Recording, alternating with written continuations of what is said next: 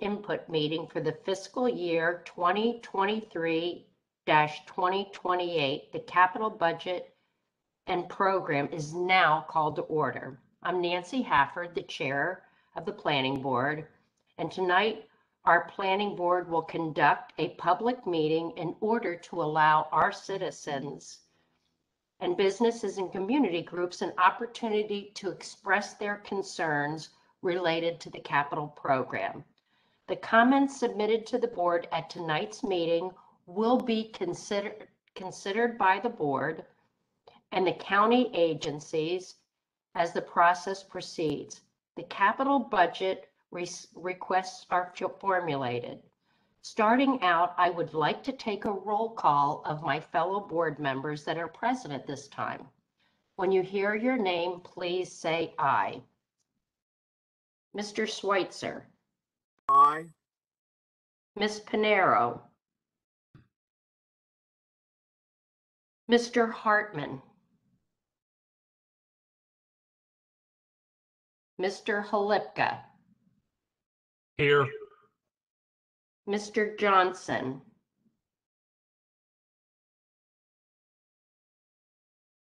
Miss Wolfson, Here. Mr. McGinnis, Aye. Mr. Heckman, Aye. Take this and talk to mom. Mr. Heinl, Here. Mr. Perlow, Mr. Warren, Mr. Caligari,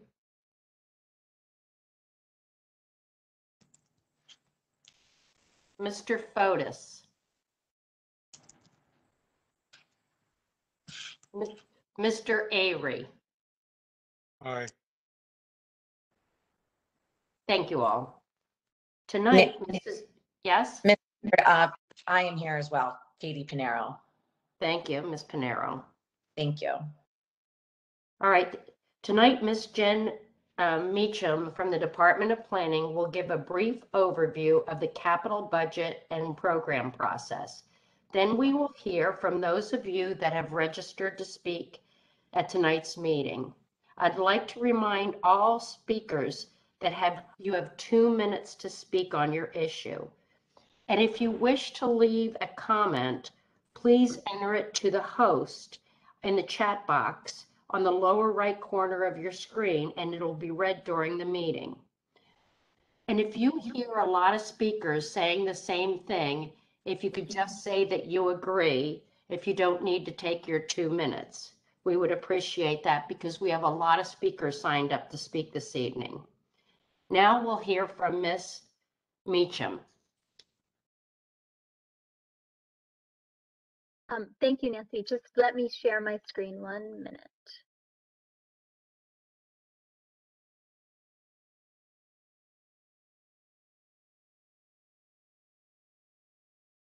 Okay, good evening, Chairwoman, members of the board, department heads, and representatives. My name is Jen Meacham, and I will give you a brief summary of the Capital Improvement Program process. The Capital Improvement Program, CIP, is a multi-year planning program of capital expenditures needed to replace or expand the county's public infrastructure. It is a six-year plan that is updated each year.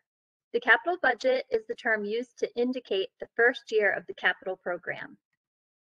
A capital project involves the construction of physical and permanent improvements for public use. A project can also be a park or a major maintenance project or land acquisition, as well as government buildings such as schools, libraries, police, and fire stations. There are many benefits to having a capital program. It allows the county to plan ahead for the construction of facilities and how they will be funded. It also allows the county to look at all the projects together, which would allow priorities to be established and enable the county to coordinate the timing and funding of projects. A good example of this is if a road needs to be repaved and the water main under the pavement needs to be realigned, the county will schedule the relining project to be completed first. It also fosters cooperation with other governments. A good example of this is the cooperation between the county and the Maryland State Highway Administration for implementing streetscape projects. The CIP is also a tool for implementing the master plan as well as community plans that call for capital improvement. Funding for capital projects comes from a number of different sources. County funding sources include the general fund, which is the money that the county collects from taxes, and from general obligation bonds, which is the money that the county borrows. The Metropolitan District funds and bonds come from the, re- the Regional Metropolitan District, which constructs and maintains water and sewer facilities. Other funding comes from special assessments that are targeted for specific types of improvements. Outside funding can come from a variety of- sources. Some are federal funds and some are state. For some projects, the developers contribute funding. In others, where the county was petitioned to provide the improvement, such as sidewalks or alleyways, the peti- petitioner contributes a portion of the funding. This bar chart illustrates the amount of funding supplied through each of the major funding sources. The bulk of the funding comes through bonds, both general obligation and metropolitan. This slide, um, this bar chart depicts the amount of expenditures that are planned for the current six-year program by category. Of the over 2.9 billion total, sewer system projects have the highest amount, followed by schools and water system projects, other projects, government buildings, and street and highways. The other projects category includes community colleges, community improvements, bridge culverts and grade separation, storm drains, refuse disposal, land preservation, waterway improvements, and parks preservation and greenways. This flow chart describes the county's annual budgeting process. There are actually two budgets, the current expense or operating budget, as well as the capital program budgeting process. The planning board is only involved in the capital program process. The CIP process is laid out, out by the county code. The first step is the citizen input meeting. Following the citizen input meeting, the agencies have a capital budget formulated, formulate their request for the upcoming um, update. The budget office then forwards the request to the planning board. The planning board reviews the program, formulates its recommendations, and sends them back to the budget office. When the upcoming fiscal year is one where a referendum will be held, the planning board also forwards its recommendations for the borrowing amounts. The budget office reviews the planning board recommendations with the county administrative officer. The program is then reviewed by the county executive. At least 30 days, but no more than 90 days prior to the submission of the proposed budget to the county council, the county executive shall hold at least two public hearings in two separate geographic locations. The county executive then presents the capital budget and programs along with the current expense budget and a budget message to the county council. The budget message contains an explanation of any projects that were modified from the planning board recommendations. The county council holds a public hearing, which is another opportunity for public input, and then votes to approve the budget and program by June 1st. The planning board has the ability to add, modify, or delete projects and funding amounts, while the county council can only decrease or delete projects. This is why it's important to have a citizen input meeting at the beginning of the process. Bond money is approved by voters every two years. This upcoming process is an on year because the bond level for projects will be approved by voters this election. And that concludes my presentation. Thank you, thank you, Ms. Meacham. At this time, I will call on you, all of you that have signed up on the online registration speak. Please listen for your name to be called. At that time, you will be unmuted and you can begin speaking. Remember, you have two minutes, and please forgive me if I don't pronounce your names correctly. So at this time, and also you can enter any comments you have to the host on the online chat. So right now, I'm going to call on Charles Bodanovich. Uh, Good evening. My name is Chuck Bogdanowitz, and I am the Vice President of the Jacksonville Senior Center Council. I'm here to request the board to appropriate $4.5 million in the 23-24 capital budget for the construction of a new senior center building. My reason for this request is that our membership prior to COVID was over 1,500 members, and we have outgrown our current building. As a result of our increased membership, we have been reclassified from a community center to a regional center and now have a second assistant director and a larger budget. However, because of our limited size, we cannot effectively offer the scope of services that a regional center normally provides. The county, recognizing this, has commissioned and completed a feasibility study on the, on constructing a new building, and they have developed a preliminary site plan and a building layout. The estimated cost of this project is four point five million dollars, which includes all equipment and furnishings. The new building can be built on existing county property and will utilize the existing parking, infrastructures, and curb cuts. We can occupy our existing building during this new construction. And as an added bonus, the Department of Rec and Parks, who also needs additional space, will take over our existing space when we move. The older population in the northern area of District Three is aging in place, we will depend more on the types of services and activities that our senior center provides. Again, I am requesting four point, four point five million dollars for this project, and I thank you for your time and consideration. Thank you so much. I want to let everyone know right now that all the different agencies from the county are here listening to your comments.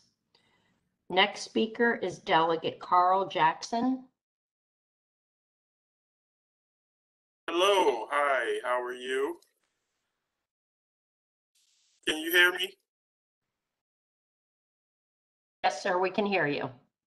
Okay, and um, for some reason I don't have the option to show my video. I don't, I don't know what's, why that is. That's okay, just continue speaking, sir. Okay, um, so as as was stated, I'm Delegate Carl Jackson. Um, I'm I'm on here tonight in reference to uh, advocating for um, a, a sidewalk uh, to be a part of the the six. Uh, sorry, hold on one second.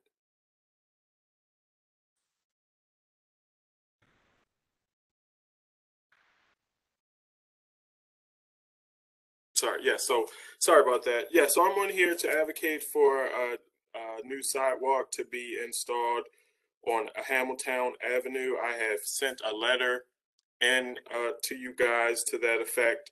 Um, just, you know, really want to try to get this sidewalk to be a part of the Baltimore County Capital Improvement uh, Plan.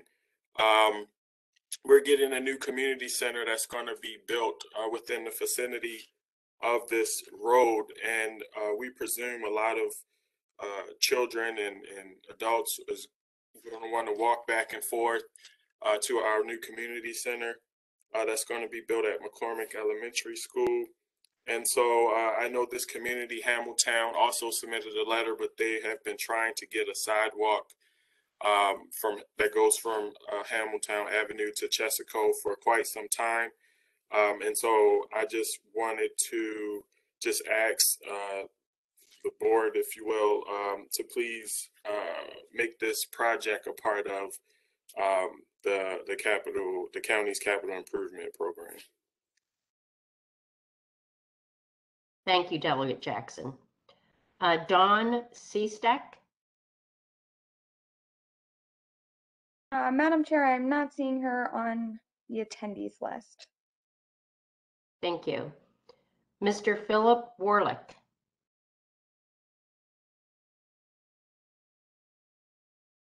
Mr. Right. Warlick, I am not seeing him on either. Bob Bendler, Uh, there we go. Hi, my name is Bob Bendler. I'm the president of the Essex Middle River Civic Council, which is an umbrella group established back in 1960, representing 20 community associations in the Essex Middle River area. I'd like to bring to your attention six uh, particular areas that we would like to see some capital budget funding for. First is the Essex precinct, the Essex Police Precinct Station, which is um, seriously uh, in need of replacement because of its uh, current condition and its inadequacy. We get great police services and they deserve to have an up-to-date facility. Second issue was regarding land acquisition funds.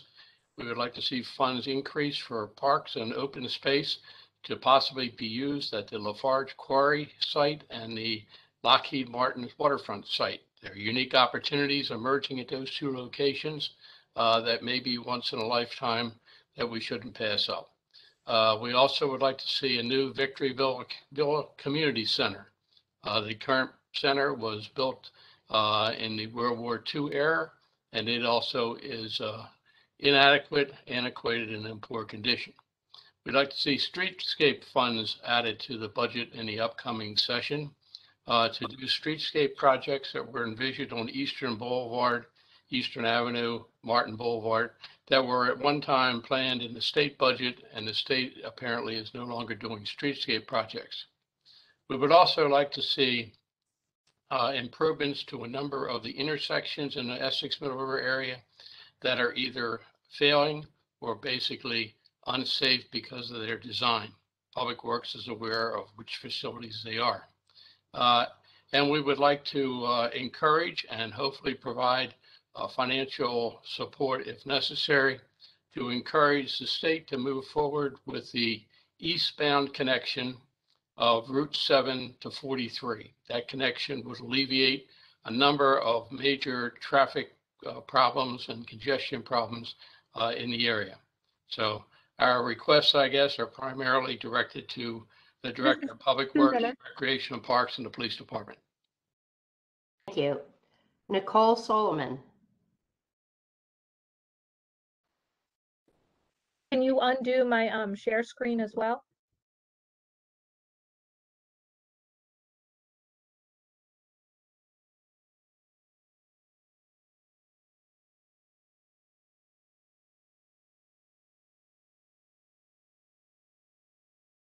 Oh, you're doing it for me. Thank you very much.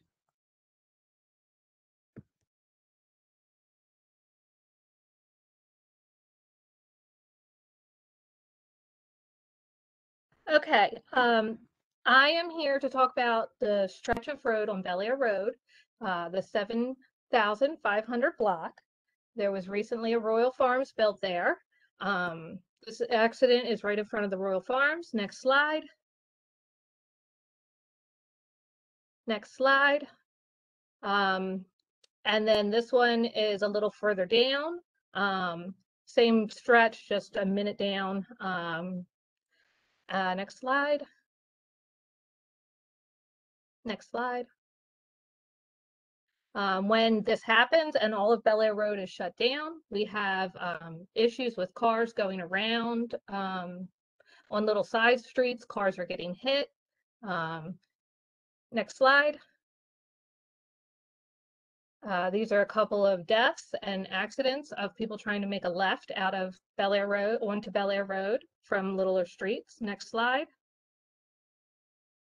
Um, the Royal Farms opened on August 24th of 2020. Schools were not in. Traffic was light due to COVID-19. Things are now starting to get um, more chaotic uh, as the time increases. Uh, next slide. Um, another uh, crash. Uh, it's, you know, mostly rush hour times is usually when it's the worst. Uh, next slide. Uh, this is a solution that I drew up all by myself. Uh, didn't really get any input for anybody. Um, we've all wanted a fifth lane going down Bel Air Road in this stretch, and they even drew up plans for that, and there is no funding for that. So I'm asking for funding for that. Um, but this is another alternative that I thought could work. It worked in Perry Hall. Uh, as you see in the example, you would take Delight and come out at Henry Avenue. You would have that light more uh, larger with a turn lane. Um, and then the Royal Farms is to the right. It could slow down traffic coming out of Thorncliffe. Um, it's pretty much just a standstill with one lane of traffic getting through lots of accidents. Uh, Thank and then the last, That's- sli- uh, thank you. Yeah, that's the two minutes, sorry. Thank you. Jaren Shaw? Can you hear me? Yes. Wonderful. Uh, hi, my name is Jaron Shaw, and I live with my wife, four-year-old daughter, and two dogs in a neighborhood of 285 homes called Greengate, which is just east of the Quarry Lake on Greenspring Avenue inside the Beltway. I've lived in this part of town my entire life, and I want to share my experience as a cyclist living in Baltimore. Currently, there's not a single Baltimore County park within safe cycling distance from my home. My choices for places to ride my bike directly from my home include Falls Road, Greenspring Avenue, and Park Heights. Uh, just to name a few, these roads all have 40 mile an hour speed limits, one lane of traffic in each direction, and not one of these roads has a safe bike lane for cyclists. As a cyclist, I've been honked at, cussed at. I've had more close calls than I can count. I've had trucks roll coal on me. I've even personally witnessed deliberate strike of a cyclist by a motorist. So experiences like this have led me to primarily ride my bike on mountain bike trails, and the closest place to my home to mountain bike is Loch Raven Reservoir. The land is managed by the city's DPW, who doesn't allow mountain bike trails. And as a result, I don't ride there. I ride my bike at Patapsco State Park, which is 30 minutes away. As you can imagine, this significantly limits my opportunities to go ride my bike. Municipalities that invest in cycling infrastructure, both on and off road, experience significant positive impact. Bike trails increase tourism, increase property values, make communities more attractive places to live, boost spending at local businesses, reduce medical costs by encouraging healthier lifestyles, revitalize depressed areas, provide transportation options, increase tax revenues, and provide low cost recreation to families. And as an example, New York City built something called the High Line Trail that was built on abandoned rail lines. The High Line Trail cost $135 million to build, but in two years, after the first section was completed, it had already accounted for $2 billion in new developments, including residences, hotels, art galleries, according to the New York Times. Baltimore County can do better, and I urge the decision makers here to seek new ways of developing our cycling infrastructure for the benefit of Baltimore County's long-term sustainability. Thank you. Thank you. Herb Weiss? Nancy, um, I think you missed number seven. Speaker seven. Oh, oh, Fenier O'Donoghue? I'm sorry. They are not online. That's number seven on my list. Correct. They're not online. Okay. Okay, Herb Weiss? Uh, he is also not online. All right. Francis Taylor? Not them either. All righty. Jennifer Jones? There we go. Good evening. Am I unmuted? Am I un, Yes, you are. Ms. Okay. Jones. good evening. My name is Jennifer Jones and I'm a member of the Board of Directors of the Jacksonville Senior Center of Northern Baltimore County. We are requesting approval of the $4.5 million for the building of a new senior center on land adjacent to our current center. Prior to COVID-19, our current senior center had difficulty accommodating our 1,500 members. Large gatherings were limited to 70 people. The Jacksonville Senior Center Macadamia Nuts, a sing-along folk group, has 11 members and includes guitars, portable keyboard, amplification equipment, a soundboard, microphones, and stands. We are unable to perform, rehearse, or store our equipment at the center due to lack of space. The last Jacksonville Senior Center Train Garden, for which we are very well known, hosted 7,000 people over the course of the month of December. During that period, any other large gatherings were prohibited as it used the largest community room. Smaller groups were impacted due to the fact that only two other small rooms were rarely available, as smaller groups, usually accommodated in the big room, were moved to the smaller room. This year, Glenn L. Martin Airport will be hosting the Jacksonville Senior Center Train Garden, which means the Jacksonville business community will lose whatever revenue those 7,000 visitors to our senior center could have contributed. About one third of our recently registered members are newly retired and first time registrants of our center. We have one of the largest growing senior communities in the state. They cannot be accommodated in our current building. Your support and approval for this capital expenditure is appreciated. Thank you, Ms. Jones. Thank you. Dolores Douglas, Not online, Madam Chair. thank you. Edie Brooks,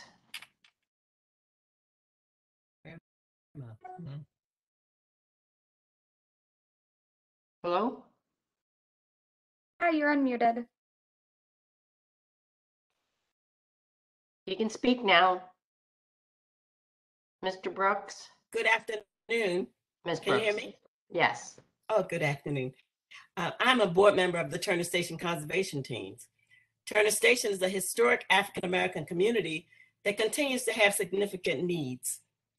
For better safety and walkability, a sidewalk is needed on Main Street, extending from Ash Avenue to New Pittsburgh Avenue across from the Broening Highway Wall. And we also have a critical infrastructure concern. We have frequent flooding on our main entry street, and that's at Sollers Point Road. It extends up to Chestnut Street, Oak Street, and Pine Streets. And the flooding is getting worse. Even with heavy rains, we get flooding in people's homes along that section. Um, it must be addressed with whatever infrastructure improvements are necessary to remedy the problem. Thank you so much. Thank you. Mark Donovan?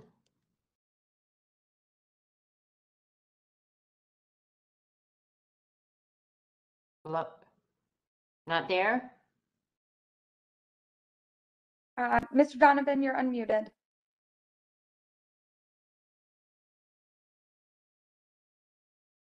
Mr. Donovan?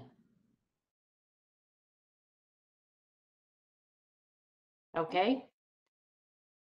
Alan Zuckerberg,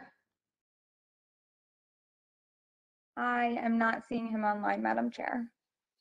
thank you. Serlene Aaron, Uh, also not online. Ryan Fisher.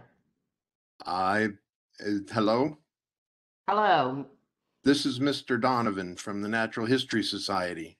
Okay, thank you. Finally have uh, my voice here. There you go. Go ahead, sir. Uh, Good morning. Does the uh, board have uh, my PowerPoint? uh, Or can I, uh, can you share the screen? Uh, If not, I can just re, uh, go to it. We are working on it now. Okay, can you see this? Can you see this now? Yeah, Yes, why don't you proceed, Mr. Donovan? Fine, thank you. So anyway, the Natural History Society has been a collection of the natural history of Maryland, and in 2006, we purchased property in Overlea uh, to create a facility for the collections. We built a community of people interested in learning more about the natural world around them and to provide a 4,000 square foot research center and home for the collection. Uh, we've provided a place where the Overlea Neighborhood Association meets, where the farmers market serves the community, and uh, where other naturalist organizations meet because they don't have a home of their own. And since we purchased the property, we've invested over $500,000 in code, building system, and site improvements. And we're underway of spending another 400,000 for exterior building and infrastructure renovations, including signage on the street and other site lighting uh, mostly coming from the state legislature. This is a view of it, and that has a new roof and site improvements, $300,000 worth of site improvements that were done. But the street is completely degraded. Uh, we have uh, utility poles, transformers, and things that block uh, views of the building and of access to the lot. Uh, visually, we're going to be putting signs out there. Most of the buildings in this uh, 6900 block of Bel Air have been closed up. And we believe that uh, streetscapes with, uh, as was previously discussed, uh, uh, you know, utilities, ground signage, uh, lighting, uh, that's better seating and all of those things will attract new businesses and assist us in uh, becoming the magnet for business growth, growth that we can. And uh, we uh, hope to have increased funding from the county in this area uh, to mitigate some of these problems and try to turn this block and other areas of uh, this uh, neighborhood around. Thank you so much. Speak in depth with you about this in the Natural History Museum. Thank you very much. Thank you. Um, Miss Dolores Douglas, did I miss you? No, she's not on, not on. Thank you. I thought I had called her, but I wanted to make sure. All right, Mr. Brian Fisher. Hi, good evening, everyone. Um, my name is Brian Fisher. I am uh, testifying uh, exclusively on behalf of myself this evening. However, just as a little bit of background, um, I'm a resident of Towson. I am the immediate past president of the Greater, uh, excuse me, the Towson Communities Alliance, one of the largest community associations in the state of Maryland. Uh, more germane to this point, I am testifying about the need for a comprehensive renovation of the existing Towson High School. Uh, my background, I have a bachelor's degree in historic preservation. I'm also currently the vice chair of the Baltimore County Historic Trust. Um, currently, um, the plan has been to uh, either do an addition to uh, or some small renovation to Towson High. That is not the direction we need to be going. Towson High is a Baltimore County landmark. It still retains all the features that got it onto the landmark list, and it may not be removed from the landmark list in its current condition. It currently can still qualifies. What we need is the funding for a new school, which will be provided through a comprehensive renovation of Towson High School, which will give us a new high school, retain the historic features that make Towson High such a distinctive building, and provide the 21st century learning environment that we need here in Towson, as well as alleviate overcrowding, which we absolutely can do. We had a plan to do similar with Loch Raven Elementary School, which was approved by the Landmark Preservation Commission, which would have preserved the county, uh, the landmark status, as well as put a modern addition onto the back of the school. This is something we absolutely need to be pursuing. It will cost a lot. It will cost the equivalent of a new school, but we will get a new school in the process and retain what we have. And thank you very much for the time, and I yield the rest of my time. Thank you. Thank you so much. Ms. Sharon, Ms. McDonald, She is not here. thank you. Miranda Fisher, Good evening, members of the Planning Board. Thank you for allowing me to speak today. My name is Miranda Fisher, and I am currently a senior at Towson High School. I've attended Towson for four years, and I've attended public schools my entire life. I went to Stoneleigh Elementary and Dumbarton Middle, where I experienced learning through renovations. Renovations not only impact students' ability to learn and socialize in school, but also things such as athletics and extracurriculars. When I was in middle school, we weren't able to have a basketball team, which is something I was always looking forward to. Towson High students have already had to live through one or more renovations during their academic career, and it's time they finally deserve a new school. Throughout my athletic career, I've had the chance to travel to different high schools across the county. Most of these schools have been significantly nicer than mine, and we've waited long enough for our turn. This is an issue I'm passionate about because of my firsthand experiences. I've spoke to some of my peers and compiled a list of some of the biggest concerns at our school. These include the undrinkable brown contaminated water that comes from our water fountains, the 12 trailers where especially upperclassmen that have many of their classes, the bathrooms which are dirty, vandalized, and even missing toilet seats, paint peeling on the walls and in the stairwells, the ceilings which have holes in them, the doors that open into the already very crowded hallways, the mice, bugs, and even just overall dirt, and the air conditioning that only works on occasion. These are just a few issues that go on daily at Towson High School. I don't believe just a renovation can fix all of these issues and more.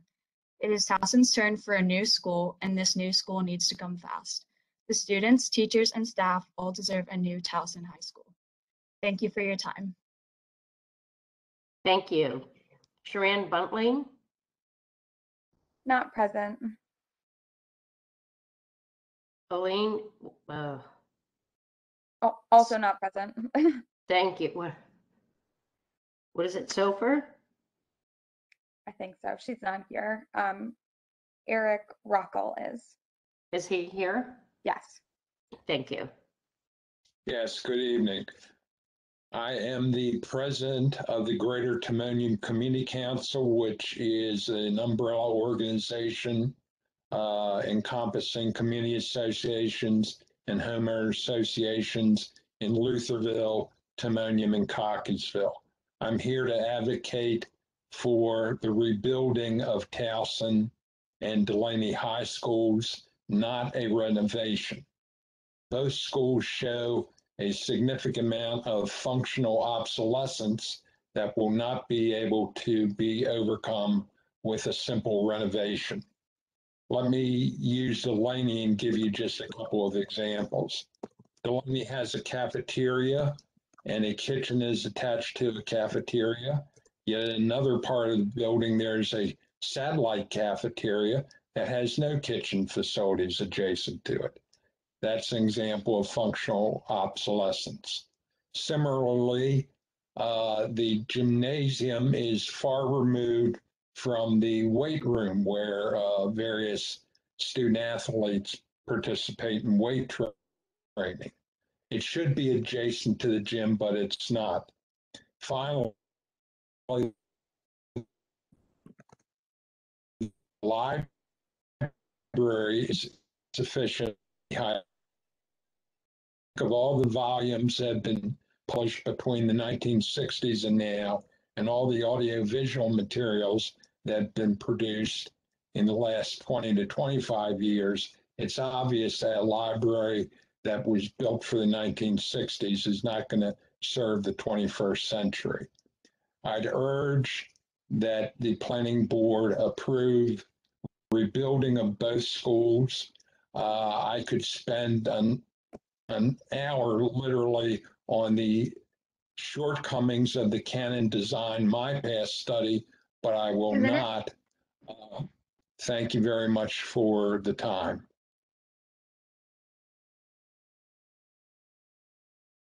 Thank you. Uh, Christy Denowitz, Demowitz? Yes, I'm here. Hi, good evening. My name is Christy Demnowitz, and I'm the president of the Hawthorne Civic Association.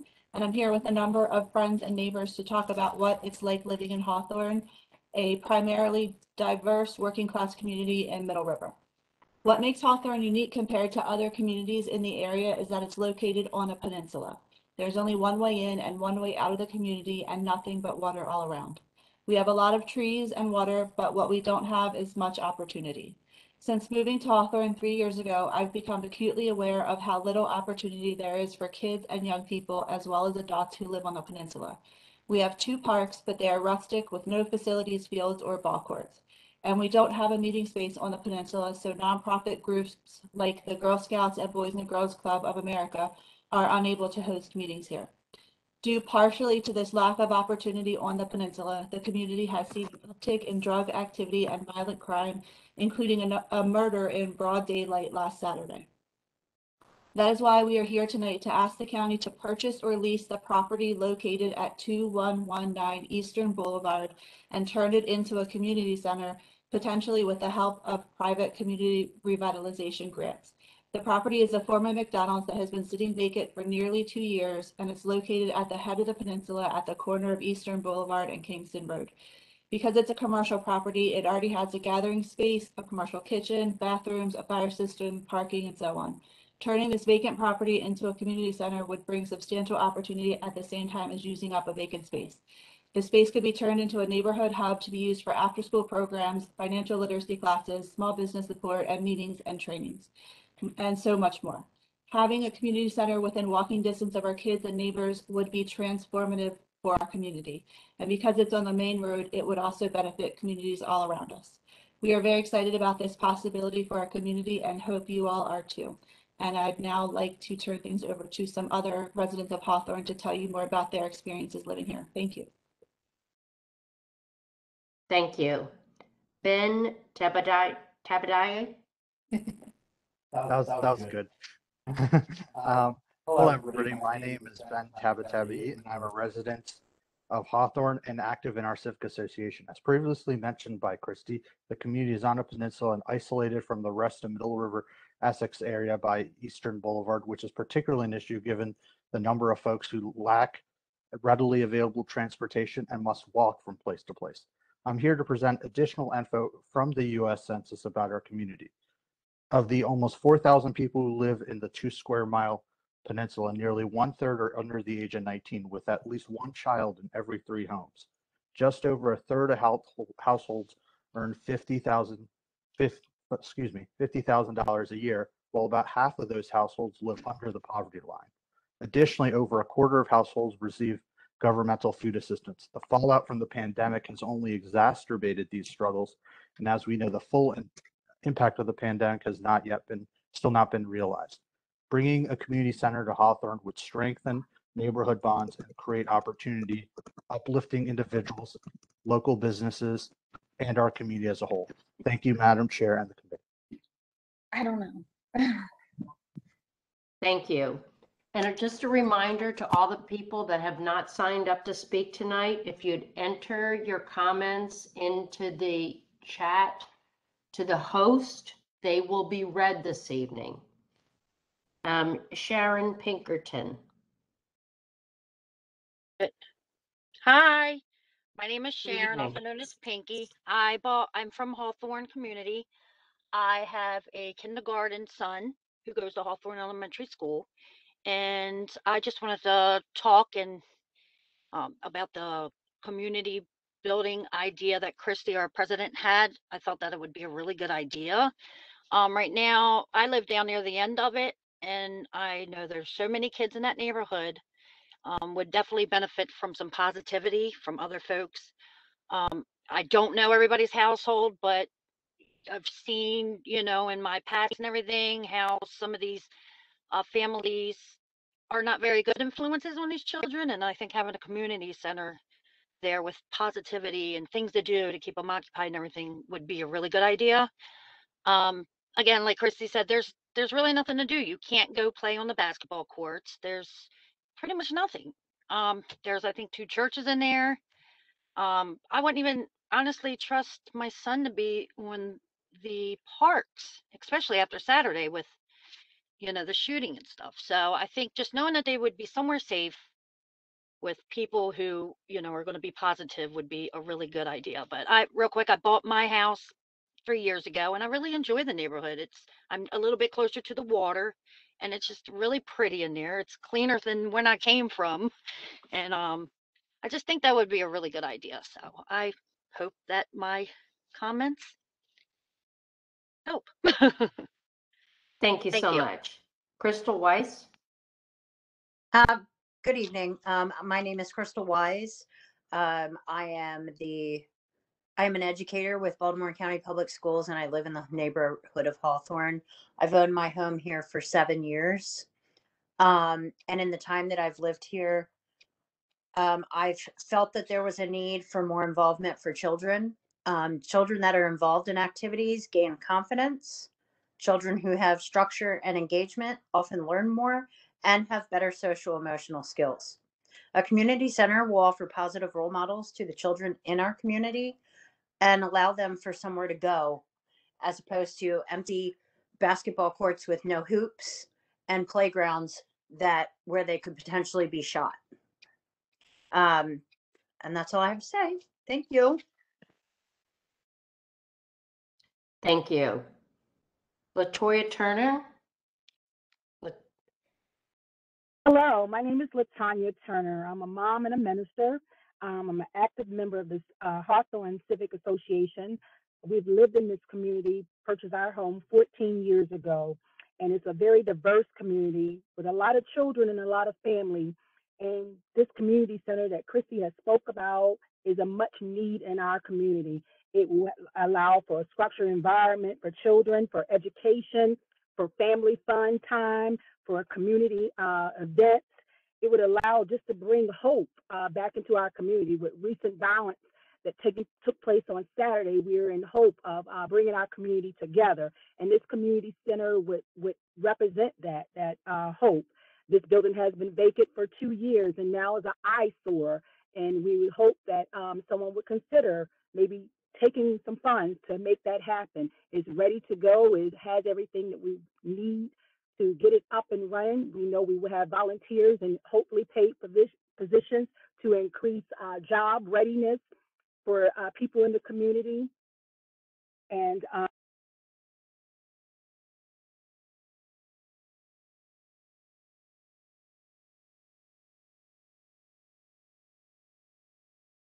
Ms. Turner, are you on? Thank you. Uh, that was all. Thank you so much. Uh, Sarah Wolfe? Good evening, everyone. My name is Sarah Wolf, and I am the Member Experience Associate at Girl Scouts of Central Maryland. I'm here to partner with the Hawthorne, Hawthorne Civic Association with Christy. Um, just a quick information. Over the past eight years, we have been trying to get um, Girl Scout troops established in the Hawthorne community, and we have had trouble due to no place, of course, to meet. Uh, we have girls who are interested and parents who are willing to volunteer to start troops, but due to policies of Girl Scouts where parents are not able to host troops in their homes or their backyards, it is only left up to churches, community centers, libraries to do so, um, and schools. Because of COVID, we have not been able to meet in schools, libraries, and churches. Um, so it is up to the discretion of the uh, community to allow us the opportunity to meet in a um, community center. So just quickly, we have um, 15, 1,537 girls in, in over seven schools right now that we target. Only 31 of those girls are members with Girl Scouts of Central Maryland as of 2021, going into the 2022 year. Um, so it is our hope that we can um, have the opportunity to have the community center so that we can build a safe space for our girls to learn STEM life skills, entrepreneurship, and have the opportunity for um, safe outdoor space. Um, and again, we had we would need to we would have the opportunity to try to serve a thousand um, 506 girls because 31 of those are already members. Again, over a span of seven schools that we would like to target. So I hope that we are able to get the community center so that we could have the opportunity for troops to start um, in a safe space. Thank you. Thank you. Lisa Whiteford?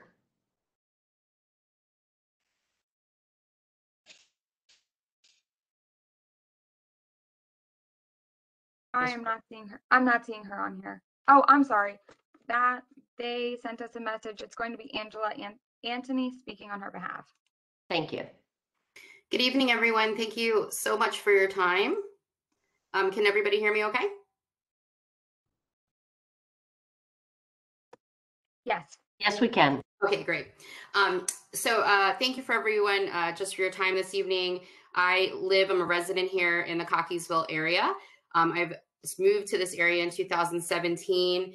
Um, and during that time, you know, I've watched a good bit of road improvement taking place in all of the surrounding roads. That would include Sherwood as well as uh, the Montview neighborhood that's right next to ours neighborhood here on Powers Avenue. Um, those, interestingly enough, both of those roads were in pretty good condition, especially in comparison to Powers Avenue. Um, Powers Avenue, not only is it just completely um, pothole ridden, it has several areas where um, public water was brought in years ago, and of course, uh, basically really did a number on the roads. Uh, in addition to that, a number of other issues, such as there are there are a number of spots along Powers Avenue that only one vehicle can pass at a time. As you can imagine, this could create some pretty significant safety concerns around emergency vehicles being able to come down the road. In addition to that, um, also with our the school bus that comes to pick up children and drop off children, it also creates some safety concerns around that as well. Um, the request, I did do some research and reached out um, to varying departments to find out is Powers Avenue on a list? Is there has there been any recommendations? And what we were told is uh, Powers Ave- Avenue was not up for resurfacing or any type of improvements, and that it could take up to six years for something to be approved for Powers Avenue. So I would like to put in a request that this definitely is considered as um, something that's in need of repair in an urgent way. Um, that's the first issue I wanted to bring up with everyone today. Um, the second issue that I wanted to bring to uh, everyone's attention is a safety issue as it relates to where Sherwood Road intersects. I'm sorry. That was the two minute mark. Okay. Um, and it was a safety concern with uh, the intersection of Sherwood Road and Warren Road, um, where it's a blind left turn and requesting either a speed bump with a light signal or ideally a more significant improvement, which would be a circle. Thank you Thank so much. Thank you. Pavel Thacker. Pavel Thacker. He is not online. Mike Ertel. Oh, good. I'm unmuted. Hello, everyone. Uh, I'm the uh, Vice President of the Towson Communities Alliance, which is the umbrella group for the 30 plus neighborhoods of Towson. And I urge you to follow the vote and the recommendations of the of the school board to replace Towson and Dulaney High Schools. Uh, Towson in particular is the oldest high school in the in Baltimore County. It's 72 years old and its condition is very bad. Um, I, all three of my children went there. I've experienced it firsthand. Uh, the school needs to be replaced. It doesn't need a Band-Aid renovation where we build a building on the back of it and leave the rest of the school uh, unrenovated. It either needs to be completely replaced or completely renovated. Um, and that requires money. We have money uh, now because the state passed uh, uh, the Build to Learn Act. So now's the time to do this. We cannot wait another 40 years to replace a school that was built in 1949.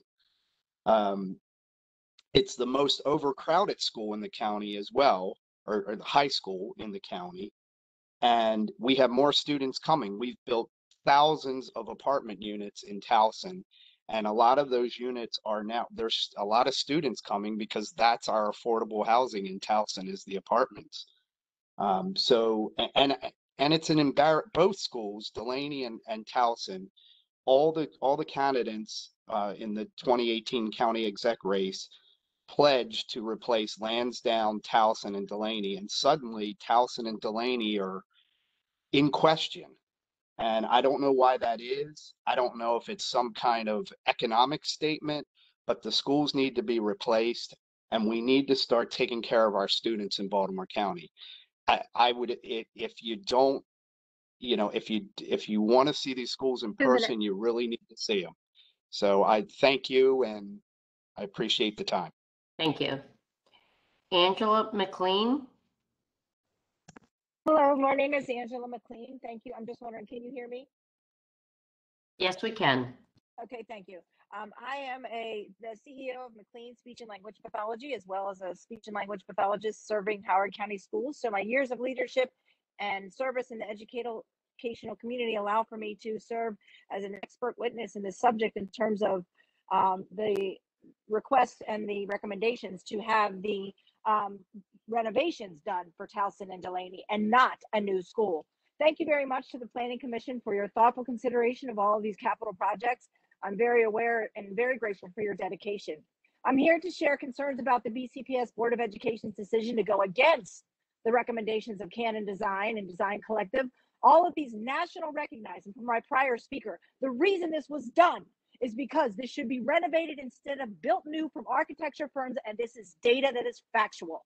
In each of these studies, these architects determined that all of the educational needs of children, as well as facility needs, could be met with renovations and additions. Choosing to build new buildings will have significant implications for our already tight capital budget and will cause over 41 schools to be left off the list. You've heard arguments that the schools are being left behind and new schools don't need any capital investments, but we know this is not true. Many of these schools are slated to be well over capacity in 15 years. We know that our county is changing. Many schools will need to be improved to provide critical health, wellness, and community supports. The blueprint for Maryland's future requires that we expand the CTE programs, pre-K and community schools. We cannot afford to overbuild two schools at the expense of our precious families who will need free preschool, who will need the supports of offered in our community schools. We cannot ignore that what let's get gets left behind is, is the fact that our students are continuing to be ignored and our elementary and middle schools will need to be converted to community schools as well. Real families who need medical and mental health services within walking distance for their homes, who need food and pantries and laundry services, and go to school with dignity depend on these schools, Towson and Dulaney, not new schools. We follow the data, we follow the evidence as per the architects. Thank you so much. And one last point, I really wish that you would please return the BCPS CIP to reflect renovations and additions for Towson and Dulaney. And again, I am most grateful for your Thank leadership. you. Thank you very much. Have a good- Um, Dave Vegan, Vega?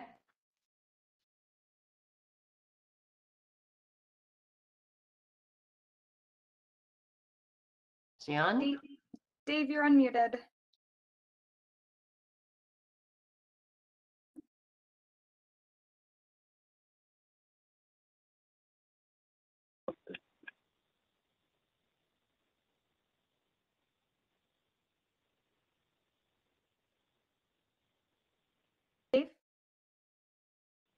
David?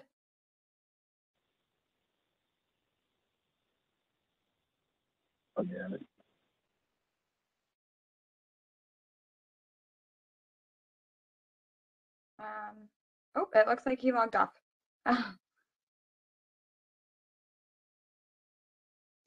Um, Chairman Hafford, uh, we can move on to the next person, which is uh, Phoebe Evans Letocha.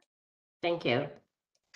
Hi, my name is Phoebe Evans Letocha. I'm a commissioner on the Baltimore County Landmarks Preservation Commission, a Stoneleigh Community Association board member, and a delegate to the Towson Communities Alliance. I come before you not as a representative of those institutions, but as a private citizen, parent of a current student at Towson High and graduate. I urge the planning department to support replacement school level funding for Towson High so we can begin the planning and design process. The GWWO feasibility study for Towson High showed that both options for a renovation addition and replacement school would be expensive, ranging from 131 to 143 million. BCPS staff indicated that they wouldn't include the full 131 million cost in their budget recommendation if a renovation addition for Towson High is selected, but instead it would be cheaper and smaller at half the budget that GWWO identified. How can Baltimore County address Towson High's severe overcrowding and poor facility conditions with half the budget it needs? Since 2017, the school board has recommended and continues to list Towson High as a replacement school on its capital budget request. 2014 GWWO facility study lists Towson High as having the second lowest high school facility score. It's been the most overcrowded high school in BCPS for years, with trailers since 2004 and currently 133% capacity. 2018 Sage High School feasibility study recommended a replacement school for Towson High. While the MYIPAS study identified over 4 billion in school capital project needs system-wide, it scaled back its recommendation in order to meet a shorter 15-year time cycle and reduce the budget by half. How is it equitable to scale back a capital project on a high school with the second lowest facility score, most overcrowded, and that has already had trailers for 17 years while prioritizing providing upgrades to new and recently renovated schools within 15 years? Extend the timeline and work with funding partners to increase available funding. Baltimore County has a desperate need for affordable housing and needs to equitably develop it in areas of opportunity like Towson. However, the community will continue to object to new housing in Towson High's chronically overcrowded district if the school is not going to fully fund the type of comprehensive replacement level build, rebuild that Towson needs that includes not just additional classroom space, but expanded and upgraded common areas like its cafeteria, library, auditorium, gym, and other athletic spaces. Thank you. Thank you. Uh, Dion Bergman? Oh, Kai Young, I'm sorry. Kai Young's next. Hello there. Thank you for uh, allowing me this time. My name is Kai. I am a 27 year old lifelong resident of Baltimore County. I grew up actually right across from Quarry Lake near the other gentleman who recently spoke. And while I do absolutely agree with the need for new bike lanes, I want to actually expand on that. I am requesting that the county considered a county-wide survey to review all new construction. uh, that includes residential, commercial, anything in between, to determine whether or not new improvements can be made to existing infrastructure to support pedestrians, cyclists, eh, and motorists, but more focusing on the former. Um, and this is to help kind of revamp and prepare the county moving forward for the future for increased residency as well as um, just different uh, newer projects that have uh, been planned going forward as well. Uh, but one of the most important ones that I do want to kind of highlight was that Boys Latin on West Lake recently just finished a boarding school, and a lot of their young students have been traversing across West Lake, which does not have a sidewalk right now, towards Falls and towards uh, Roland Ave. And with my communications with the county, uh, due to a lack of a curb or gutter system along this avenue, uh, it would need to be considered a standalone capital project. So I'm really just kind of asking the county to consider allocating significant funding. I do not have a monetary value. I'm not that smart uh, for any kind of uh, public renovations and improvements to our infrastructure for pedestrians, bicyclists. Um, I would love to see a bike lane on Falls Road. Um, I would love to see everything um, for uh, active walkers and bicyclists, just any kind of uh, improvements in that realm. Thank you so much. Give me one second. Thank you. Uh, Dion Berman? Hi, my name is Diana Bergman. Um, good evening, board members. So I'm here to request two separate requests. The first request is to honor the MYIPAS recommendation because it costs taxpayers up to $1.2 million to not only look at public school facilities, but to make sure that all academic programs was going to be accessible as a world-class education for students, regardless of what zip code they reside in. Now, in 2018, I actually have proof of the county executive and county council members supporting the Maryland's blueprint. Okay? And that was an investment of planning ahead to give students in BCPS a world-class education. That means we plan. My second recommendation for this board to consider is that MYIPAS study, we spent over a year working on it together. From county employees, community members, students, teachers, and everybody came together to create that final recommendation of the MYIPAS. And it got full inventory of what we have in Baltimore County for schools. Why aren't we doing that same similar studies for our public libraries? Um, doing the inventory for our fire departments that provide public service, our police departments, and so on. So we got to spend those tax dollars wisely. Because you know, when we're waiting to get on capital improvement projects a certain percent from the state's help or the federal help, we have to be able to match that.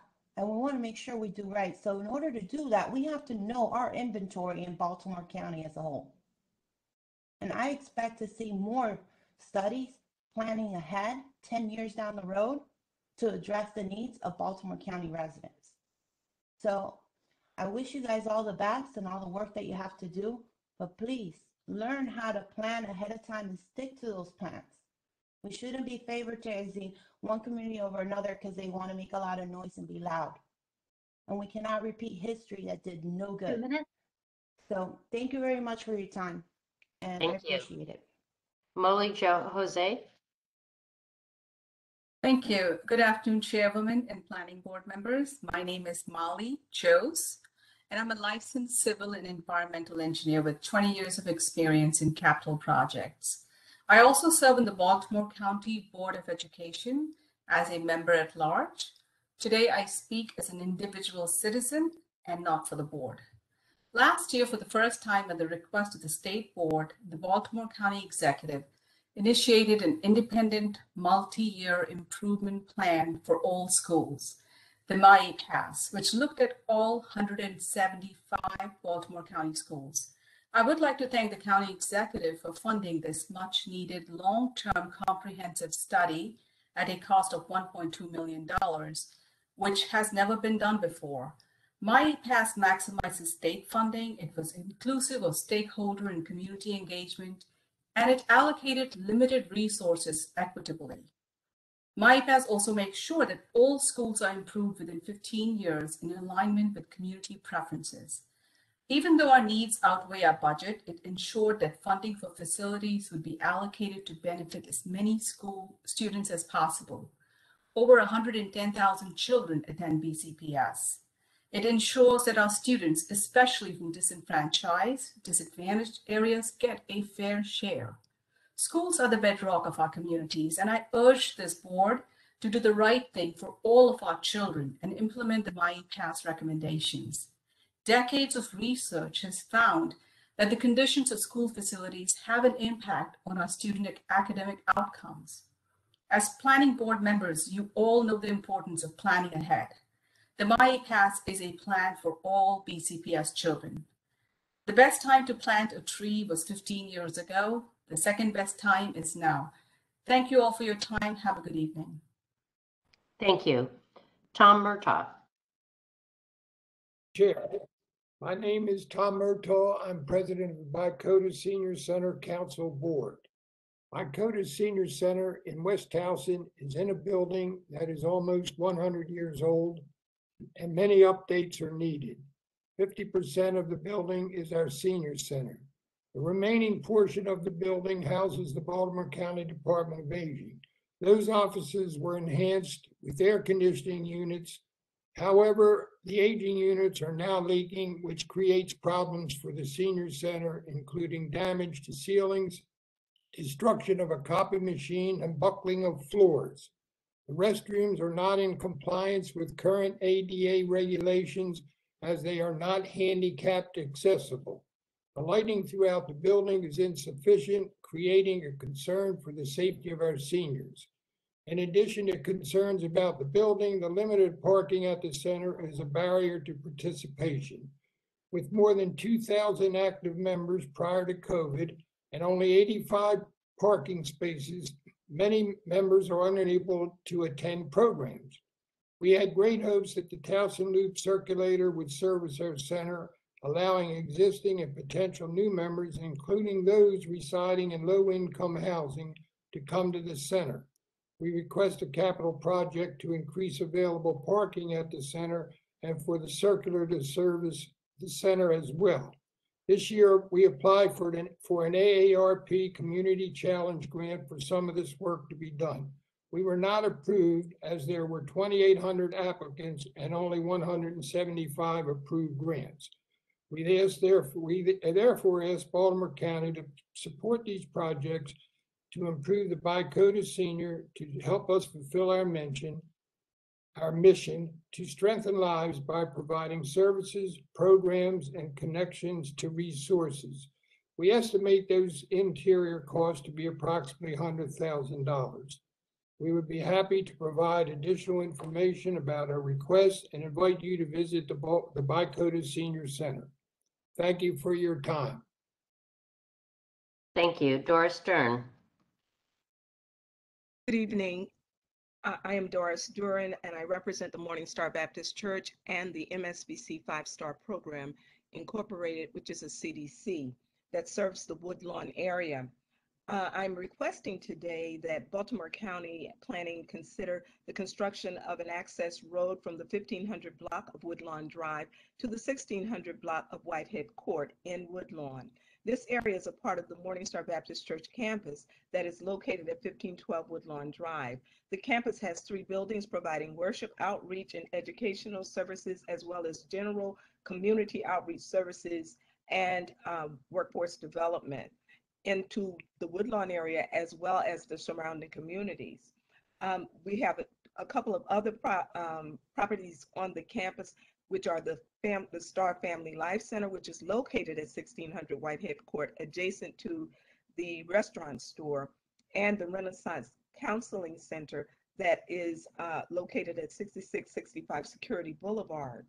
Morning Star Baptist Church has partnered with the, the CDC um, which is the Community Development Corporation, and provides multi-generational programs and outreach services to the Woodlawn and surrounding communities, including food distribution to over 85,000 individuals and families over the past year, hosting two community baby showers, distributing necessities to um, 200 expectant infant and toddler families, partnering with Baltimore County government to host two job fairs with over 80 employers present that provided ongoing educational and job education and job opportunities to the attendees. We are concerned that we need the access road because there's only one way into the Woodlawn Court area, and it's a two um, two direction road, um, a direction in each, um, a, a lane in each direction. That is, and what happens is that it is flanked by construction vehicles and truckers who sometimes sleep in their vehicles. And what we know is that it does present a safety hazard um, to the walking um, partners that are coming in to use the services at the Family Life Center. Please consider uh, building this or constructing this access road. Thank you for your comments. Delegate Cathi Forbes. Thank you.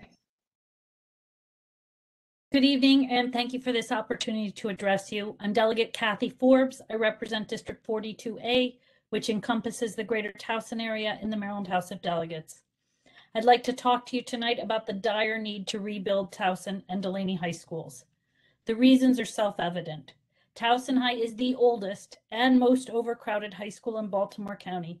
It was built during the administration of Harry S. Truman. It's a maze of patched together and poorly renovated hallways and classrooms. Ceilings leak and have collapsed. There's a mouse infestation, and they have to run the heat and air conditioning at the same time to prevent mold from growing in the school. 12 trailers have sat behind the school for years. The situation at Dulaney is also troubling. It has had no meaningful renovation since it was built in 1964. The drinking water is brown and has been found to contain lead. Pipes regularly burst, and the electrical system has failed more than once. Most recently, it caused a fire in the auditorium last month. But there is hope. We are fortunate to have a former teacher as county executive, Johnny Olszewski, who understands the needs for 21st century schools. I've talked with him at length about this subject, and I know that he wants to do the right thing. That's why he's pledged repeatedly to rebuild these schools, and that's why he invested a million dollars in planning money to start the process of rebuilding these schools. County preservationists are also on board with the rebuild at Towson, and we will collaborate with them to keep the most historic parts of the school and tear the rest down. Whether you call it a renovation or a new building, it's going to take new school dollars to provide comprehensive solutions at both schools. The feasibility studies commissioned by the planning department prove this. Just like Lansdowne High, which is being rebuilt, Towson and Dulaney were already slated for replacement. The Board of Education has voted this way three times. And so, and the SAGE Policy Group study in 2018 also recommended it. We cannot kick the can down the road any further. As the county executive himself has said, we have to stop coming up with excuses as to why we can't do these big things and do them right now. Thank you so much for your service and your time tonight. Thank you. Uh, Jesse Jagger, Hi, my name is Jessie Yeager. I am a mother of two kids at BCPS. All of our schools in the Central District are overcrowded, but Towson High and Dulaney High are in desperate need of replacement schools, not renovations. A renovation is not a sound decision at all. These schools have been neglected for far too long, and they are projected to experience the worst overcrowding in the entire county. All of the schools in the county need attention, but Towson and Dulaney need to be at the top of the list as a priority. My two kids currently go to a school that had a renovation, and while it is a beautiful school, it didn't have the foresight to work around growing population. So my first grader cannot eat lunch in the cafeteria due to overcrowding. There's many students and trailers all over the whole county. It is projected to get worse, and we already know that projections are undercounted every year and Towson High is going to have the absolute worst of this. Strong and healthy schools make a strong and healthy community. You cannot keep expanding a community without addressing the schools. And right now, our schools are failing. Renovating these schools will only be a band aid solution that will end up costing more money in the long run. We need a new Towson and a new Dulaney. We need more and better schools around the whole county. Thank you. thank you. Senator Shelly Hettleman, Good afternoon. Thank you very much, uh, Planning Committee, and thank you for giving me the opportunity to be here today. I'm the senator from District 11, and Dulaney High School is in my district. Many of the students who attend Dulaney also reside there. I'm here today to urge you to adhere to the recommendation of the Baltimore County Public School Board to fund a replacement school for Dulaney. Dulaney High School was built in 1964 as in and is in very poor condition systemically, structurally, and cosmetically due to age and neglect. It's one of only a handful of schools currently without central air, and the school has units in the classrooms that were installed during the pandemic. Parents have advocated for the past seven plus years for relief from brown water, burst pipes, antiquated facilities, settlement issues, plexiglass windows, electrical problems out on the fields, etc. Dulaney also has a deficit of 47,000 square feet of allowable space, um, according to the MSDE formula, and this is the largest deficit of space of any school in Baltimore County. The high school is projected to be overcrowded within three years in the BCPS student counts, and this doesn't include the additional 150 English language learner students currently attending Parkville High School that will return to Dulaney when that cluster program is uh, dissolved. Um, in years past, BCPS has undercounted the enrollment and when actual enrollment has been higher than projected. The state of the condition of the school, the inadequate maintenance, and the condition of the building and the costs related to a comprehensive renovation justify a replacement school. The argument that this is a zero sum game, that not a game, but uh, an issue that other schools will be neglected if we move ahead on replacement, these two replacement high schools is, is a false equivalency. Um, many of the schools listed in the program uh, will have been built in the last decade. And of course, we need to um, maintain them systemically so we don't end up in a position that we're in today where we've neglected the regular maintenance.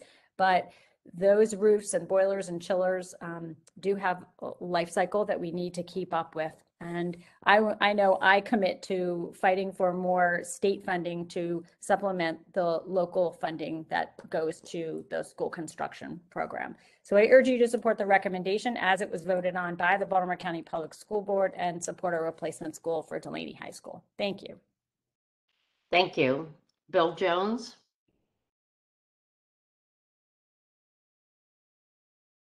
Towson, I strongly recommend the replacement of Towson High School rather than a renovation. I have a unique perspective because I was heavily involved in the last renovation effort in the 1990s, working with local community leaders, Towson High alumni, and county political figures to get that renovation completed. I taught at Towson High until my retirement in 2014, and my three children graduated from the school. So why should the school be replaced? As we all know, things have changed dramatically since the 1990s. The first major concern involves the health of our students and staff. The, the HVAC and ventilation systems installed in the last renovation have been a major problem, primarily because there was an attempt to make a huge system operate in a building constructed in 1949.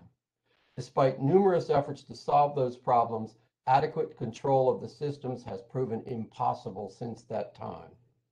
The second concern is space.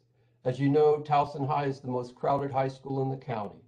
Continued residential building in the area is compounding the problem. Because of restriction on building changes in the last renovation, a number of classrooms in the current building are undersized or poorly designed. To me, the most pressing concern is safety. Designed in 1948, Towson High has multiple outside access doors and inadequate security features. Its size and design make it very difficult to secure. A new building could be designed with security as a top priority. Again, I urge you to replace, not renovate Towson High. Thank you very much.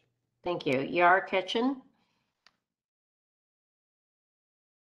Oh, hello. My name is Yara Cheikh, and I am the Dulaney High School PTSA president.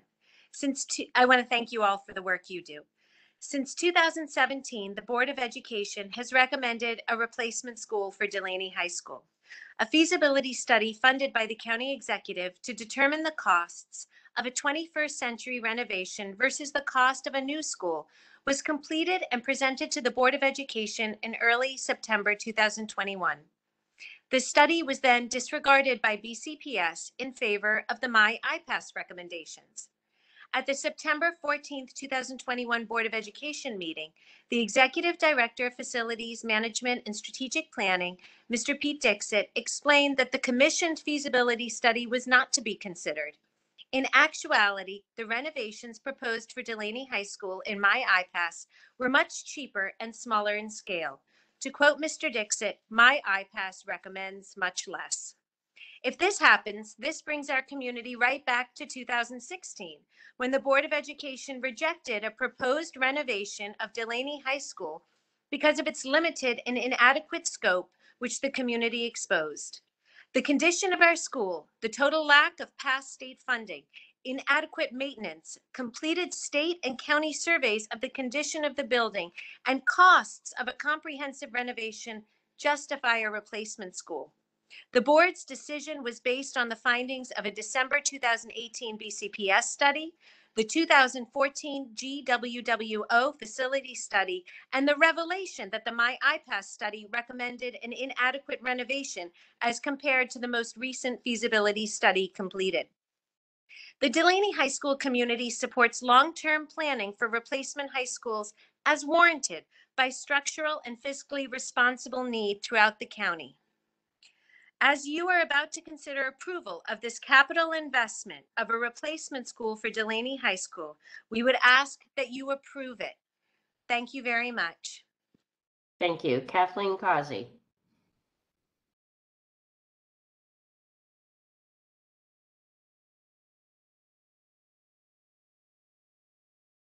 Kathleen Causey. Kathleen, you're unmuted.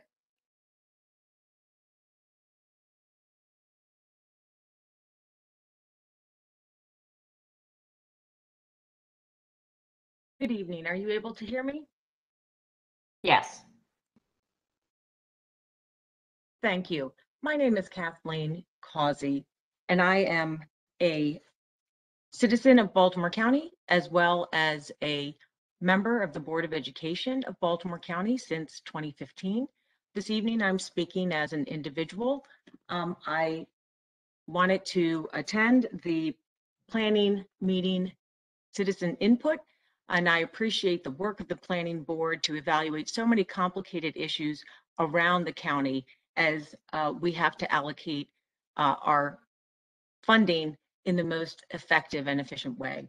I do want to appreciate that the Board of Education of Baltimore County since 2017 has approved state and county capital improvement plans and requests for funding that have included Dulaney High School and Towson High School as replacement schools. And that in the most recent board meeting on September 14th in 2021, the board voted unanimously to forward to the state a capital improvement plan and funding request that included replacement funding for Towson and Dulaney High School. And I appreciate the uh, work by so many um, over so many years that have really improved the schools in every area of the county. We have much work to do, uh, but it is important to um, do the right thing at the right time. So I just wanted to thank you again for the planning board, and I appreciate hearing from um, all of the citizens speaking here tonight. Thank, Thank you for your comments. Dennis Lorenz?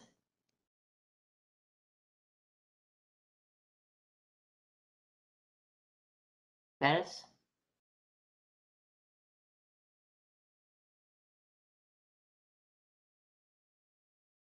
Okay, sorry, can you hear me now? Yes, we can. Thank you. Okay. Um, thank you. And if you could either put up my PDF or share the screen with me so I could show the PDF or my PowerPoint.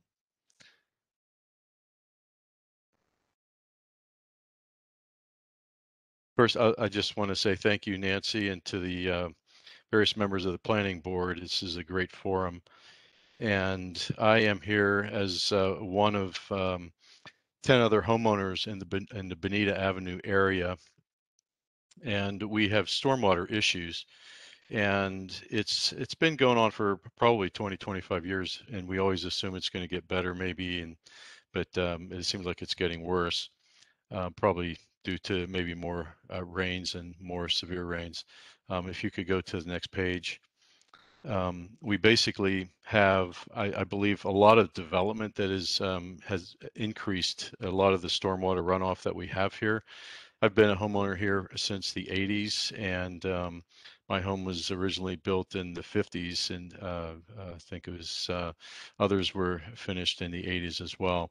And um, there's been development around us um, since um, Bonita Avenue was widened, and there were uh, large developments that went in. In particular, as you see under the the uh, observations, uh, the Worthington Park um, development, which is very large near us. And what I, am requesting is is that there's there's some simple things that could be done because we're getting a lot of flooding, and there's a lot of dead, fallen debris in the stream that a lot of this stormwater runs into.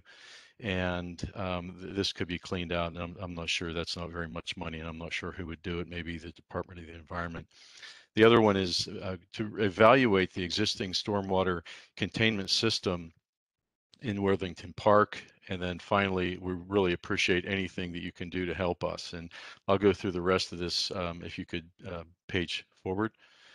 There's an aerial view here. This is the area that we're talking about on Bonita Avenue. We are uh, the downstream side here as we near Owings Mills Boulevard, and that's primarily the impacted zone. Next page.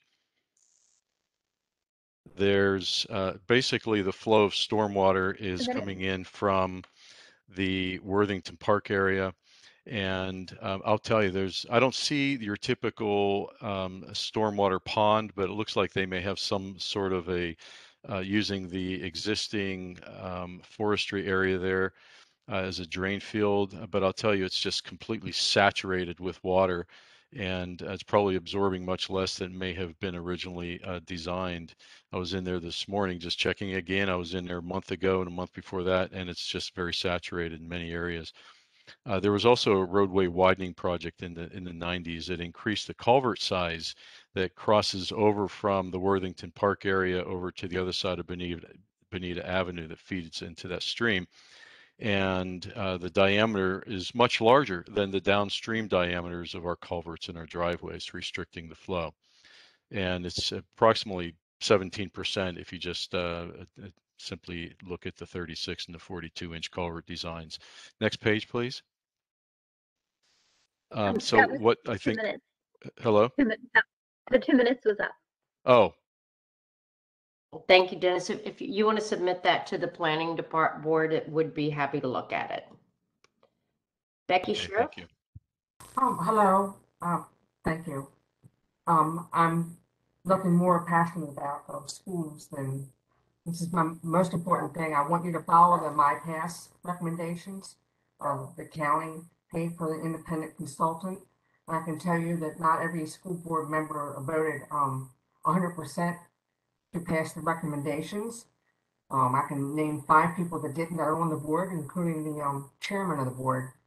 Um, I don't want to see Towson High or Dulaney, um, built new. Um, they could be renovated and expanded per the MYIPAS plan. Under this plan, eighty-six other schools in the county will get equitable funding. And, um, all students will be able to attend by twenty twenty-six, a school that's at, uh, one hundred percent capacity, not over that. Um, inequality of education causes uh, lower education levels. People notice it. Uh, future earnings decline. There's a lower base of Farmer County taxes. There's a higher crime rate. Um, poor public health outcomes because of a lower education and increased taxes for the middle classes to pay for increased health care because poor people go to the emergency rooms, which increases costs for those who have insurance. And um, I'd also like to request more police in Woodlawn and more property inspectors. And I live in the Catonsville area and we vote too. And Johnny O, you may say what he, what he, what you think he thinks, but until I hear from Johnny O, I think he's going to be equitable. And that's what I want to see, equitable funding for all schools, not just politically con- connected. Thank you. Thank you all for coming to speak tonight. I think that's the conclusion of all the people that have signed up to speak by three o'clock this afternoon. Um, Ms. Bensley, is there any written comments that were provided via chat? Yes, we have a whole lot of them, Chairman Hafford. Um, did, did you want to go back through the list of anyone that missed their opportunity to speak, or would you like to do the written comments? Um, did any of the people come in late? Yes, quite a few. Okay, Um, first, uh, first we have, uh, Philip Warlick. He's unmuted if he's there. Mr. Warlick?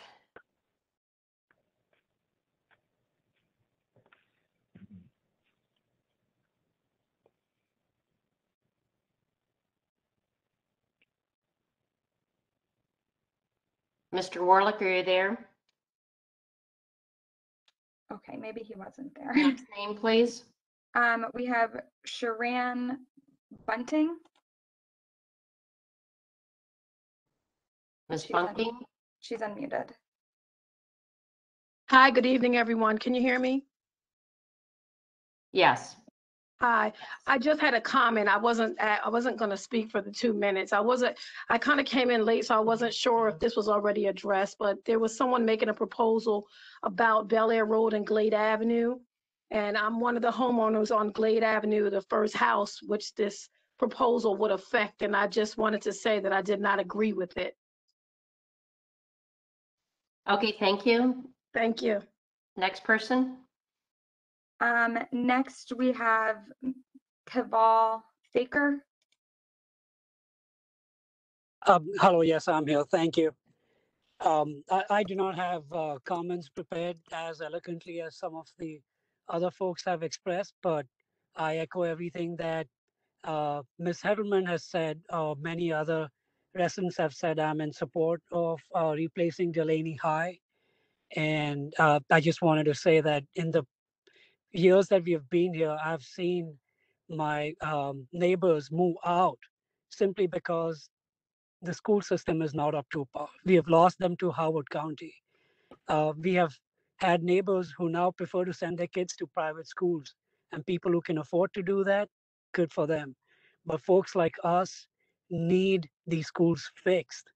We have kids who are going to be going to these schools, and it is appalling to hear the conditions of the schools. Um, thank you for the opportunity, and I hope um, the folks who make decisions have heard um, the residents loud and clear. Thank you so much. Any other comments? That's everyone that joined that had previously signed up, Chairman. Thank you so much. Ms. Mensley, can now, can now you share the written comments that were inputted into the chat? Yes, first we have Lauren Stanton. She said Milford Mill Academy is a magnet school in Windsor Mill slash Milford Mill and should be included primarily in budget planning to update schools. Um, Dawn Stout stated, I am Don Stout, resident of Catonsville across from Rolling Road Golf Course. I have several concerns and suggestions for the area. Sidewalk, uh, one, sidewalks on all, sidewalks all the way around Catonsville High School. to keep Rolling Road Golf Course rare open leisure space in the area. Three, approve Whalen Properties Promenade and work with Spring Grove to allow multi-use shopping, dining, living, parks, and efficient use of ground and gateway from UMBC uh, to Catonsville Village. Next, we had, sorry, now I'm going through the chat. Um, Next, we had Peter Fitzpatrick, who stated, I would ask the board to adopt the MYIPAS as recommended by the study commissioned by the Baltimore County government and Baltimore County Public Schools and conducted by CannonDesign. The MYIPAS provides a comprehensive and equitable plan to improve school facilities across the county. It was conducted in a manner that freed planning from the normal process of communities with resources having greater voice than those without resources. It is the best plan available to provide improvement uh, to the most schools over the course of the next decade and a half. Robin Harvey stated, good evening. I am requesting that $60,000 be allocated in the capital budget for the development of green open space in Woodlawn slash Windsor Mill communities. There is a documented disparity in green open space on the west side of the county. This negatively impacts the quality of life of residents. This will also aid in preserving the Gwynn Falls watershed uh, and the bay. Mm. Next, we had um, David Pittenger, who stated the Natural History Museum is a great place for the community.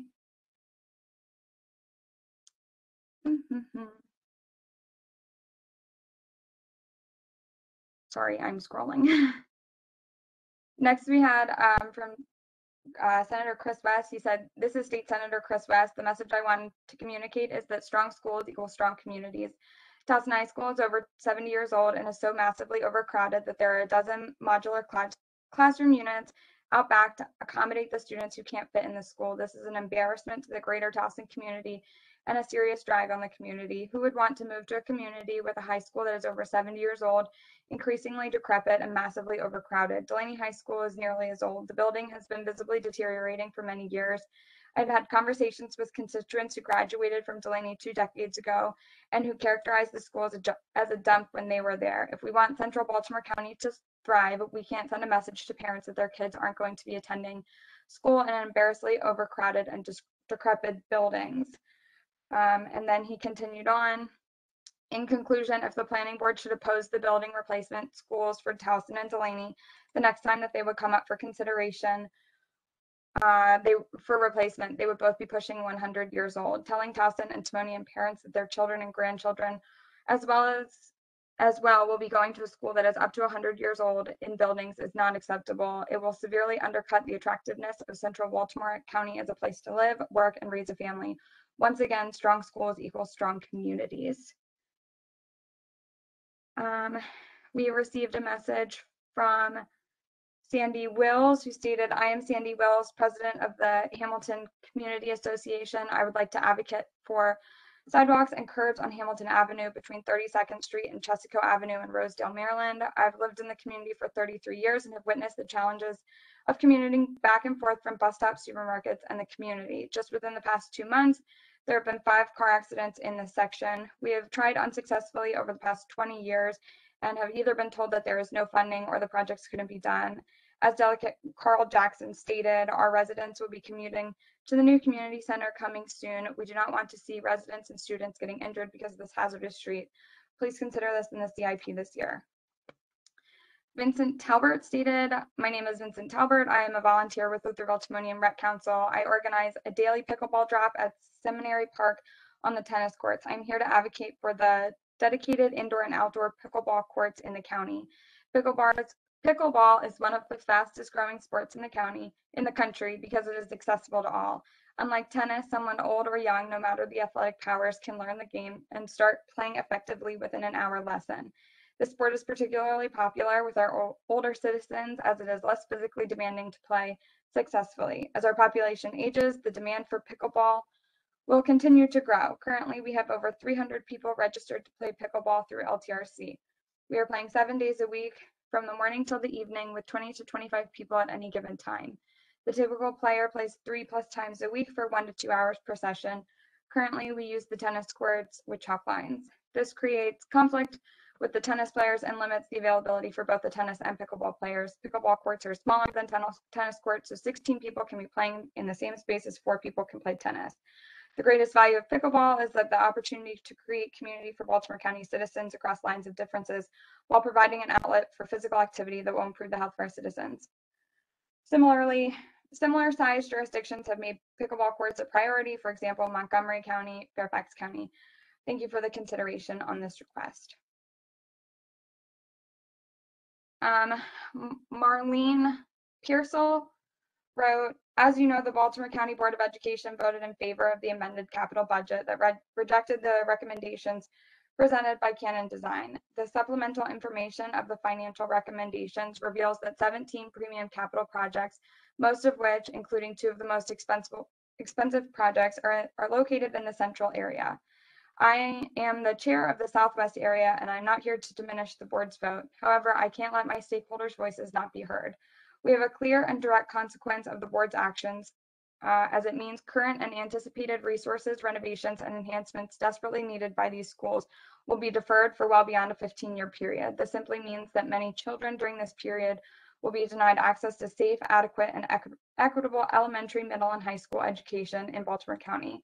I'm specifically talking on behalf of Featherbed Elementary, who is in need of sidewalks, renovated car loops, and additions to replace Feather to or replacement of Featherbed Lane Elementary. I'm also putting on notice a renovation for the historic Arbutus Elementary and building a new school to be named Arbutus Middle to relieve the crowded Catonsville and Lansdowne schools. Lastly, we urge uh, you to support CannonDesign's recommendations of Woodbridge Elementary, who is currently operating as an open space school, which desperately needs walls. Fortunately, the MYIPAS process called for equitable allocation of limited resources. According to that result um, of a BC, according to the result of BCPS MYIPAS survey, 91% of respondents agreed that funding for facilities should be allocated to benefit as many students as possible. The survey also stated that 4,800 plus community survey responses confirmed broad support for recommended facility options that enable more equitable distribution of capital improvement, and 82% of respondents preferred 15 years or less for the longest students should go without a budget, without a building renovation. An overwhelming number of respondents want children to have equitable access and opportunity, and this includes access to academic opportunities, programs, safety, um, and learning environments that support at-risk students. In closing, I expect your decision to take into account the preference of the majority of parents and stakeholders who support CannonDesign's rec recommendations and equitable distribution of funds.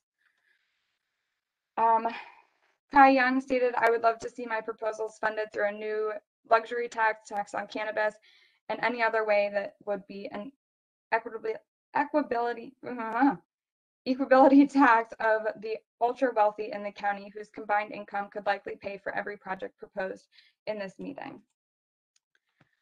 Um, oh. And then we received some additional comments in the chat while I was speaking. Um, Miko Baldwin stated, my name is Miko Baldwin, Miss Miko Baldwin, HOA President for Parkview Trails in Windsor Mill, co-chair of Milford Mill Alumni, previous parent liaison for Woodlawn High School and Baltimore County resident for 45 years. Let me first say that Milford Mill High, Milford Mill High is one of the oldest schools in the county, built in 1949. The school's so-called renovation was done poorly.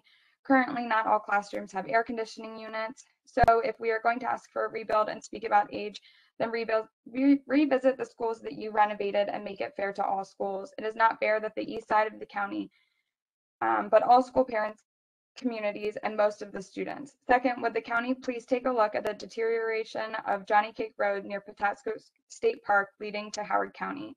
We have beautiful homes being built and more government jobs in our government jobs we have beautiful homes being built and more government jobs in our government jobs in the Woodlawn area. Many use Johnny Cake Road and the road is in serious need of disrepair. Also, please check the lighting on Security Boulevard past the bowling alley headed towards Ingleside Avenue. Consider building a recreation center at Crosby and Rolling Road. The last school system is failing. The last school system is failing to a C, and we need to all work to bring Baltimore County back to an A. Vincent Talbert stated, I am a volunteer um, that one was already read. My apologies. Um, and then I think we had a couple in the Q&A and then that will be it. Mm, no, I think that's everything. Thank you, Ms. Bensley. I appreciate that.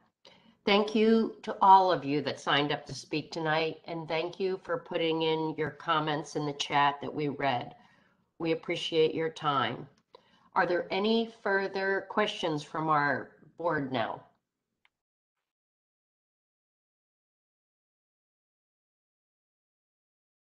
No questions?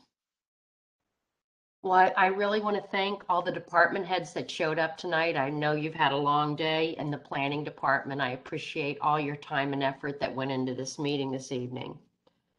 So the citizen, the citizen input meeting is now adjourned.